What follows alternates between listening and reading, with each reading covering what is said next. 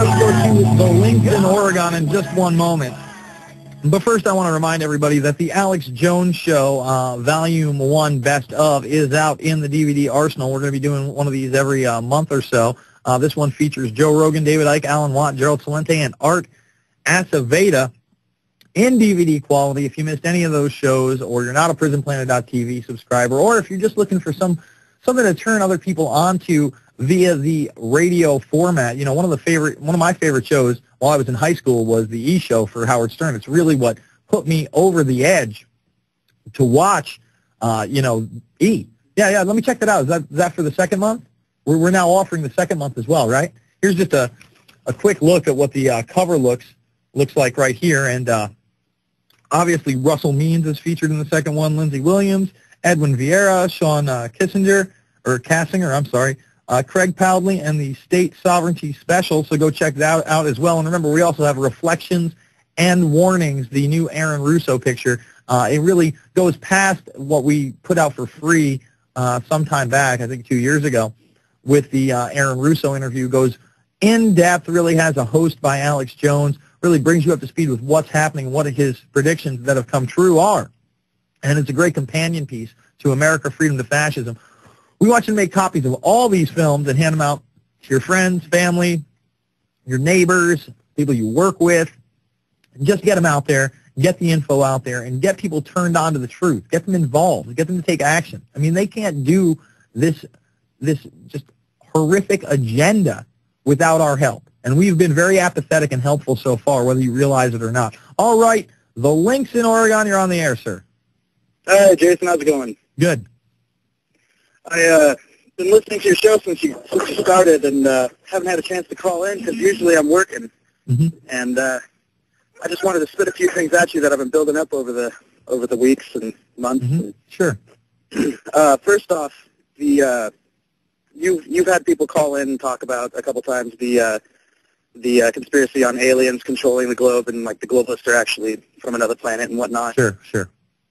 Well, uh, I've kind of looked into that and I've thought about it. You know, I'm not I'm not for it or against it, but uh, you know, it's it's kind of hard for people to say one way or another when uh, uh, uh, the Discovery Channel, for one, spends millions of dollars on their on their shows trying to disprove aliens even exist. See, I don't think so much that they do that though. Um, you know, maybe the Discovery Channel takes kind of a slanted view, but how many shows out there like UFO Hunters are there? How many we, you know, how many weeks a year does the History Channel dedicate to UFOs? You know, it's UFO Weekend or UFO Week. It's Inside Roswell, and it's not just the Discovery Channel, and it's not just the History Channel. It's TLC and everything else of that nature. And Fox was a big proponent of this theory. Um, you know, I just need to see more evidence. And for me, I don't think there's a uh, there's any doubt that there is other life out there in the solar system. What that life may be, I don't know, and that there are, of course, unidentified flying objects. But what they may be, I don't know. Uh, you know, for me, the most compelling evidence for you know artificial intelligence of some sort outside of our own solar system are those NASA UFO videos, um, where you know either these are very large aircraft or some kind of biological entities. Uh, but the tether incident, we've played it on the program. I don't know if you actually watch the PrisonPlanet.tv, but we've played the te- tether incident on this program. I'm, you know, I'm on the fence. I mean, do aliens exist? I don't know. I know that there's a huge push out there to make us believe what an alien looks like is, you know, this bald, skinny being with large eyes and a slit for a mouth and maybe a slit for a nose. And, you know, when I watched that horrific movie, uh, the, the latest Indiana Jones, which just might as well throw up in my mouth, what are they pushing? They're pushing kind of this new age theory of aliens. They're not just from outer space anymore. They're interdimensional aliens from the fourth dimension that are our masters and rulers and our creators. And I, I see that being pushed sometimes even in this movement. And I really got to pull back. And I got to say, well, you know, there's a ton of, you know, interesting stuff about the Anunnaki and ancient civilizations and, you know, Mayan and Incan culture and even in the Bible. You know, one of my yeah. favorite History Channel specials out there is UFOs in the Bible. But all that language, you know, gets translated over the years and years and years and stories. You know, you've played telephone before with other people. You can see how things oh, get yeah. distorted. And for me, you know, I like to stick to uh, the scholars that, that don't go way over the top. Not that I don't enjoy reading a Jim Marrs or checking out his work or, or listening to Jordan Maxwell or even David Icke, man. I, I've sat through the seven-hour lectures of Icke. I remember sitting in my you know, little cubicle when I had my desk job, and I was just happy as can be to have that. And in the corner, I would have, you know, David Icke's, uh, you know, one of his lectures, his seven-hour lectures running. I'd be interested in it and check it out. But, you know, I have not seen anybody shapeshift into an alien. I have checked out all, you know, the crystal skull stuff, the alien autopsy, uh, the supposed right. videos of other aliens. I just have not seen any clear-cut evidence, number one, that they exist, or number two, that there is this agenda you know, of, you know, fourth dimension reptilian blood-sucking aliens that have to keep us in fear. I mean, that's a great allegory. It, it sounds a lot like V, which it was this 80s sci-fi show, if people don't know about it. You know, I enjoy watching Robot Chicken when they make fun of V and everybody's a reptile. I sure as hell hope that I'm not up against, you know, interdimensional reptiles, you know, from another, oh, yeah, from another planet. if that is the case, I mean, I guess, you know, there's evidence and I have to step up to the plate in light of evidence, I will step up to the plate. Until then, I've, I've just got to keep it in the hokey realm. And, you know, you keep your mind open to everything. You know, anything out there, friend, is a possibility, but you really have to pull back and say, hey, what are the probabilities of this? What evidence have I really been shown? And who's pushing this agenda? I mean, when Fox pushes an agenda, you, you better think twice about it and really I, I remember the 80s. You know, I mean, I think Robert Lazar and his story is incredible if it's true. You know, if it's true, it is an incredible story and it needs to be explored. If he's a disinformation agent, he's a good one. You know, and, and but at the same time, it was the same that period when all of a sudden, you know, people were going through walls and they were, you know, being abducted. And I've even done interviews with uh, Whitley Strieber. Uh, if people don't know who Whitley Strieber is, you know, he's out of Dreamland. He does. Uh, he did Communion. He wrote that book. It became a movie with Christopher Walken. He is an adamant uh, claimer that he has been abducted by aliens. I don't know if that's true. I've never seen an alien. I've never been abducted. I, I just don't know. I thank you for the call, man. You know, interesting caller. Got me kind of off on a side subject, but I guess it needs to be addressed. All right, let's go to Rick in New York. Rick, you're on the line.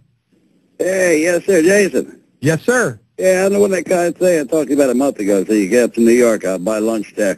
Hey, you want to hear a good one? I seen Richard Haass on uh, uh, Washington Journal this morning, so I had to call in. And, you know, you could just keep hitting redial, and sooner or later you get on. Usually any time I try to get on, I get on. And he was talking about, he got a book about the Iraq War, and then I asked him about, I said, I get my information from uh, InfoWars, Alex Jones, and uh, uh, he said, uh, how's your book compared to the Smedley Butler's book about... Uh, uh, to overthrow this uh, when General Smedley Butler went in front of Congress and exposed the fact that he was asked to overthrow this country. Yeah, he was asked to, over, he was asked to uh, overthrow this country with the help of J.P. Morgan and Prescott Bush. Right, they basically wanted to, yeah, they wanted to get rid of Roosevelt because as much as they liked Roosevelt and the elite, they really wanted that Hitler Mussolini model over here. And only because Smedley Butler worked with these people up until the moment where they could really thwart this plan do we even know about it? And of course, nothing really happened. There was a little slap on the wrist for uh, right. Prescott and his buddy.